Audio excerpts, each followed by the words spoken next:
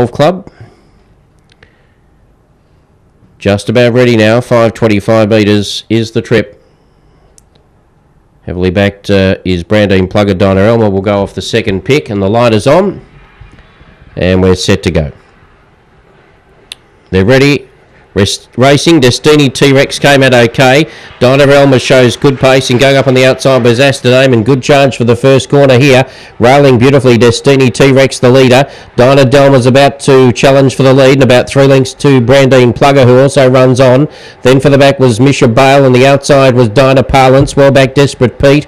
Toward the tail was Molly Chapter and last of all Astrodame on coming up to the corner. Our one on the track Dinah Delma and through the centre Brandine Plugger and kicking back T-Rex. Destiny T-Rex defied them all, beat Brandine Plugger and Dinah Delma. Then came uh, Misha Bale. Further back was Molly Chapter.